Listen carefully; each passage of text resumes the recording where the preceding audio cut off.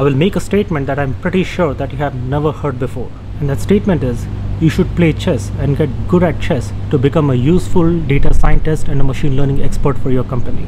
Now, how does that work? Watch this video to find out.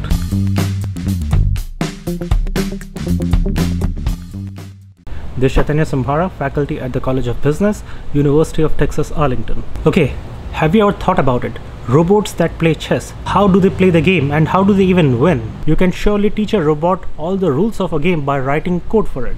But how do you teach a robot to make decisions? Try this experiment. Go to chess.com and play a game against a robot.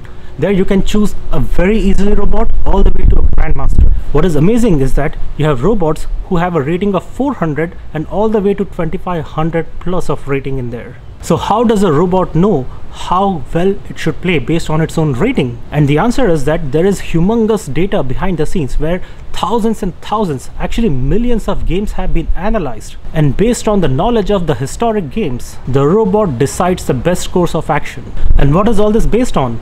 Simply put, data science and machine learning. And if you think data science, analytics, machine learning is anything new, well, you are mistaken. Even in the era of 1990s, when there was hardly any internet, chess genius Garry Kasparov, who was the best chess player in the world at that time, was defeated in a game of chess by a computer called Deep Blue developed by IBM. The world was paying a lot of attention and we weren't quite used to that. Chess events never get covered like that. Whoa! Deep Blue has instantly sacrificed with knight captures e6. Deep Blue was just sitting there and just keep on attacking, just moving pieces around. And he knew he was in trouble.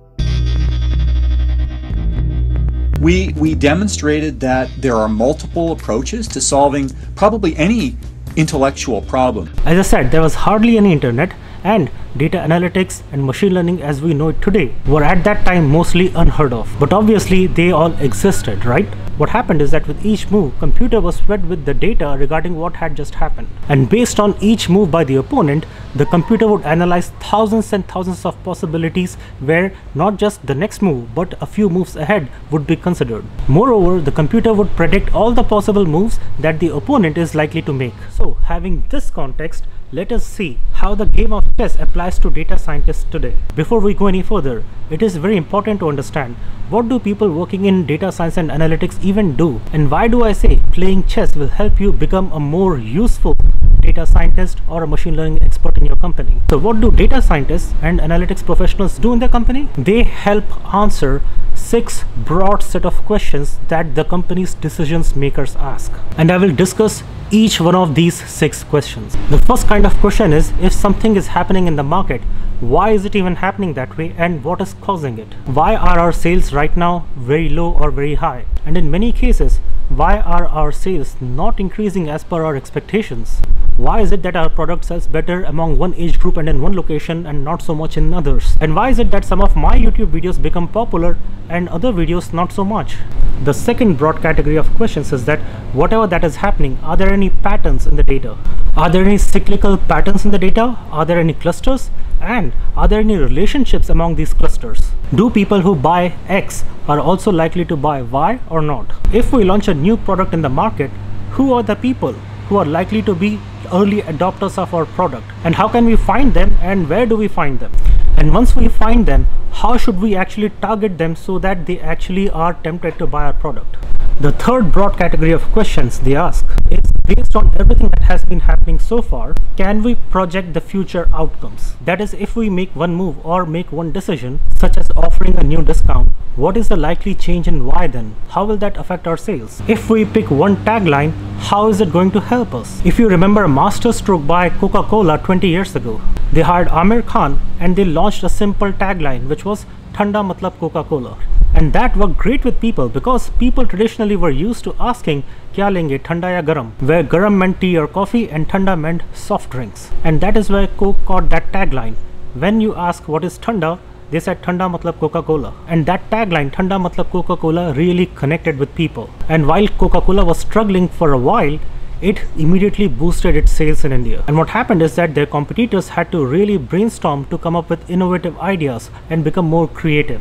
See, the point is that every competitive move matters and therefore you need to guess what move your competitor is likely going to make. Similar to the game of chess. After 10 moves by each player, based on all the moves so far, how is my opponent thinking now? Based on the current data and intelligence that we have developed, can we estimate the opponent's move and can we estimate our own move? The fourth category of question is if we take a particular decision, what are the different types of outcomes that are likely? Here, controlling for your competitor's moves, you need to evaluate how is your decision going to help you or even harm you. Is it going to strengthen your game or is it going to make you weak? Just like the game of chess, when you make a certain move, you may think that you are being aggressive and attacking your opponent in a certain way, but guess what? You might become weak in another way. You may possibly be overlooking that one of your more valuable pieces might become vulnerable after your move. The fifth category of question and a very important thing to consider is related to what are the business opportunities in the market.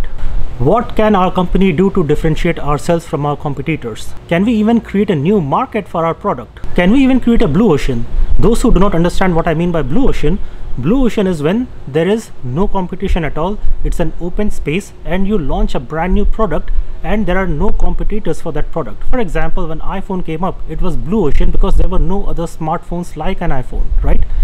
Then you have pink ocean and the context for blue ocean, pink ocean and then there is a thing called red ocean. Uh, the context is that in a blue ocean, all the fish are still there. The market is there for you to capture and no fish has been killed. So it's all blue.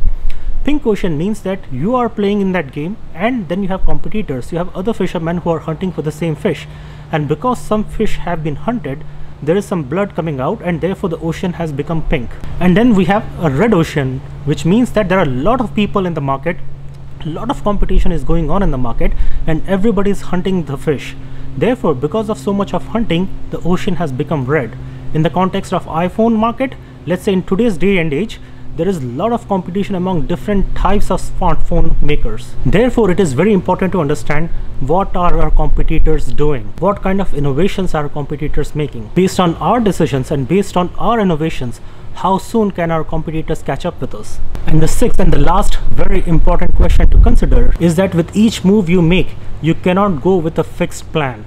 Your competitors are also making their moves to counter your moves. And if you fail to see their plan, your plan will fail. Therefore, you may need to deviate from your original plan with each move. So you continuously need to update your data and collect market intelligence. Your company might even be forced to reanalyze all the data that you have been analyzing so far. And only when you do that will you be able to make better business decisions. And that is what exactly happens in the game of chess as well. So I hope that you found this video to be interesting.